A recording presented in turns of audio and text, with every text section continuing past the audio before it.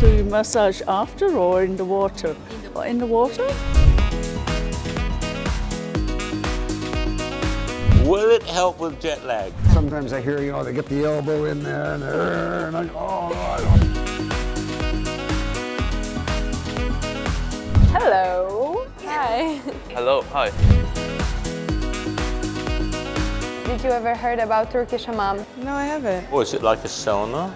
No. Turkish hammam is like a bath combined with massage and scrub, three in one. How do you feel after getting shower? Pretty good, I feel tired. I feel refreshed after a shower.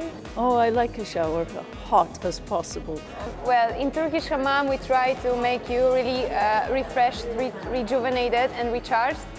It's something like shower, but 10 times better. Wow.